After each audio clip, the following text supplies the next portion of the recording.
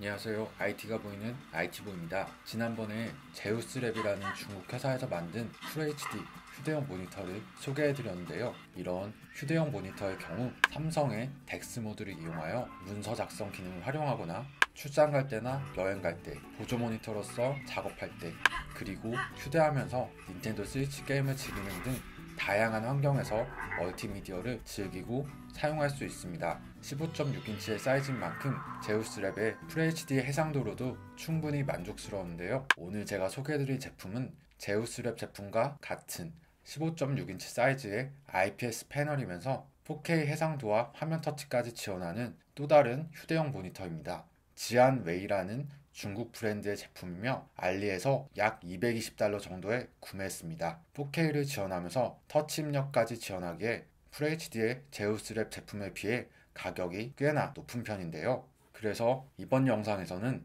이 지안웨이 휴대용 모니터의 특징과 장단점을 FHD인 제우스랩의 이 제품과 화면 등을 비교해가면서 말씀드리고자 합니다. 지안웨이 휴대용 모니터는 4K 3840 2160 해상도까지 지원하고요. 비디오 출력은 NTSC 방식이고 1000대 1의 명암비와 60Hz의 주사율을 지원한다고 합니다. 기본 구성품은 휴대용 모니터 본체, 스탠드 및 보관 케이스, 30W C2C 충전기, C2C 타입 케이블 2개, USB2 C 타입 케이블 하나로 간단하게 구성되어 있습니다. 본체는 알루미늄 소재의 메탈 바디로 제작되었기에 꽤나 단단한 편이고 무게는 약 893g으로 어느 정도 무게감이 있는 편입니다. 케이스의 경우에는 별도의 구매 없이 구매 시 기본으로 제공된다는 이점이 있긴 하지만 제우스랩의 케이스처럼 뗐다 붙였다 할 수 있는 형태가 아니라 양면 테이프가 있어 한번 부착하면 떼어내기 힘든 방식이어서 아쉽긴 합니다.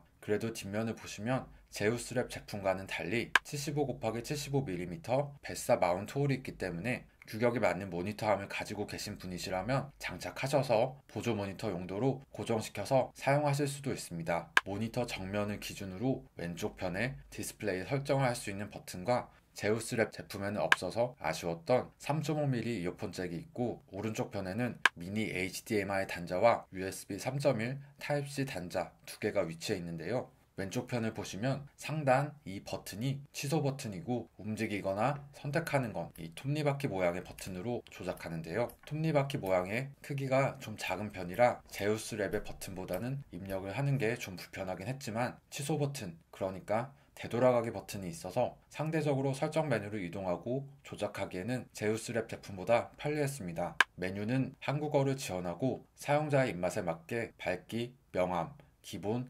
RTS, FPS, 문서, 영화, 게임의 6가지 모드를 선택할 수도 있고 화면의 위치, 위상 조절이나 색온도의 조절, 모니터 자체의 HDR 모드를 켜거나 끄는 설정과 시력 보호를 위한 blue light의 설정, 그리고 FreeSync와 OD 기능까지 설정할 수 있는데요. 휴대용 모니터임에도 불구하고 상세하고 다양한 customizing이 가능하다는 것은 마음에 들었습니다. 이 톱니바퀴 모양의 버튼을 위로 올리면 디스플레이의 밝기를 조절할 수 있는 메뉴가 버튼을 아래로 내리면 스피커의 볼륨을 조절할 수 있는 단축 메뉴가 나타나서 밝기 조절과 볼륨 조절을 설정 메뉴에 들어가서 따로 찾을 필요 없이 편하게 바로 변경할 수 있어서 좋았습니다. 스피커 소리는 대체적으로 무난한 소리였고요. 스테레오 스피커이기 때문에 영상을 보시거나 음악을 감상하는 데에도 크게 문제는 없었습니다. 그리고 3.5mm 이어폰 잭을 통해 사운드 출력을 이어폰으로 변경해서 들으실 수도 있는데 사용하시는 이어폰에 따라 음질이 다를 수는 있겠지만 이어폰을 사용했을 때의 음질은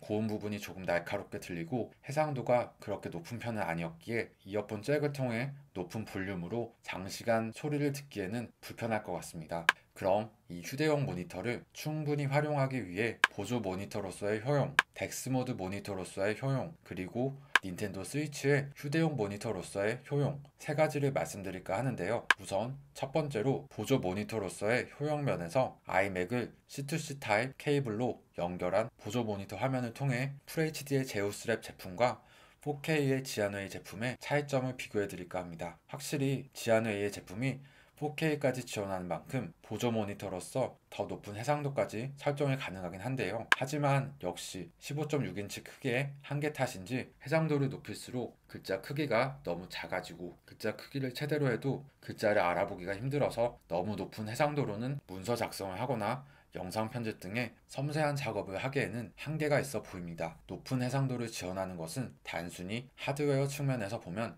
장점이긴 하지만 15인치대라는 디스플레이 자체 크기의 한계 탓에 4K 해상도를 충분히 즐기기 어렵다는 점은 아쉬웠습니다. 대신 제우스랩은 농글레어 액정이 아니기 때문에 보는 시야에 따라 다소 빛 반사가 있었고 반면 지안웨이 제품은 농글레어 액정이기 때문에 제우스랩보다는 빛 반사가 많이 감소되는 편이었지만 화면 터치 시 지문이 묻어나는 것을 억제하기 위함인지 화면이 마치 지문 방지 액정 필름을 붙여놓은 것처럼 뭔가 자글자글하고 무지갯빛이 도는 느낌이어서 제우스랩 제품보다는 화면이 선명하다는 느낌은 들지 않았습니다. 그리고 4K를 지원하는 만큼 소비 전력도 그만큼 높아졌기 때문에 FHD의 제우스랩 제품의 경우 샤오미 1세대 보조 배터리의 출력으로도 대부분의 기능을 사용할 수 있었지만 4K의 지안웨이 제품은 전원의 입력이 부족하면 전력이 부족해져서 화면이 꺼지거나 연결이 해제되는 등의 현상이 종종 발생했기 때문에 기본 제공되는 30W짜리 C2C 충전기를 이용해서 전원을 공급해 주거나 아니면 30W와 비슷한 출력이나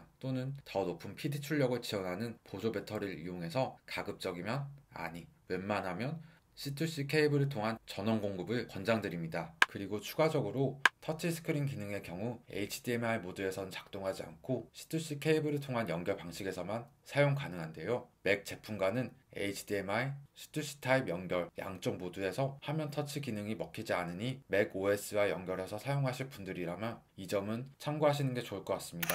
두 번째로 덱스 모드 모니터로서의 이 제품의 활용성에 대해 말씀드리자면요. 앞서 말씀드린 바와 같이 기본 소비 전력이 FHD의 제우스랩 모니터에 비해 높은 편이기에 샤오미 1세대 보조 배터리를 통해서는 덱스 모드의 사용이 불가능했고 미러링 모드의 HDMI 모드로만 출력이 가능했고요. 기본 제공되는 30W 충전기나 다른 C2C 출력을 지원하는 높은 출력의 보조 배터리를 이용하셔야 덱스 모드 사용이 가능했습니다. 아쉽게도 덱스 모드를 연결 시엔 FHD의 해상도까지만 설정 가능하기 때문에 4K 해상도를 충분히 활용하기는 힘들 것 같고요. 그래도 덱스 모드에서 화면 터치를 통한 입력이 가능하기 때문에 터치가 없는 것보다는 사용하기가 훨씬 편했고 화면을 90도 회전시켜서 이런 세로 비율의 영상을 꽉 찬 화면으로 즐길 수 있다는 점 또한 좋았습니다. 삼성의 그 비싼 텔레비전이 부럽지 않은 순간이었습니다. 그리고 물론 스마트폰과 블루투스로 키보드나 마우스 등도 연결하셔서 워드 작업이나 기타 다른 작업들도 충분히 가능하고요. 높은 출력의 보조 배터리가 필요하거나 기본 충전기를 사용해야 한다는 단점이 역시 있긴 하지만 덱스 모드에서 터치 스크린도 지원하고 출장 시나 카페 등에서 영상을 즐기거나 문서 작성하기에는 괜찮았습니다.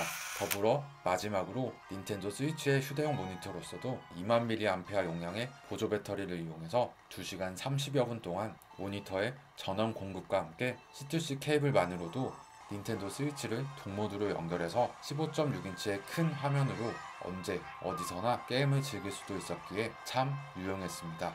다만 닌텐도 스위치와 연결 시에도 모니터 자체의 소비 전력이 높은 편이기에 샤오미 1세대 보조 배터리와 같이 일반적인 5V 2A 10W 정도의 출력으로는 사용이 불가능한 점은 아쉬웠습니다. 어디까지나 전력 소모와 관련한 면에선 FHD 해상도를 지원하는 제우스의 제품이 더 좋아 보이는 것 같긴 하지만 4K 해상도와 터치스크린 입력을 지원하고 설정 메뉴의 이동과 조작이 더 편리하다는 점과 3.5mm 이어폰 잭이 존재한다는 점 그리고 모니터암 장착의 용량 배 사홀까지 있다는 점은 지안의 휴대용 모니터의 장점인 것 같습니다. 물론 그만큼 가격이 더 올라버린 점은 어쩔 수 없을 것 같고요. 그렇기 때문에 굳이 터치스크린 기능이나 4K까지의 고해상도가 필요하지 않은 분이시라면 15.6인치 정도의 화면으로는 FHD의 해상도로도 차고 넘친다고 생각하기에 훨씬 더 저렴한 제우스랩의 휴대용 모니터도 충분히 좋은 선택이 될 수 있다고 생각합니다. 어디까지나 어떤 제품을 구매할 것인지는 여러분의 선택과 판단에 달린 문제겠